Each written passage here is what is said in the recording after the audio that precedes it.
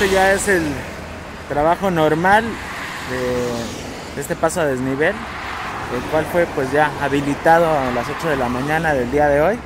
Y como podemos ver pues ya funcionan todos los carriles, los tres carriles de con destino al centro de la ciudad y los tres eh, carriles que van en dirección al aeropuerto internacional. Les comentaba que alrededor de las 8 de la mañana pues ya se dio la apertura de esta vía.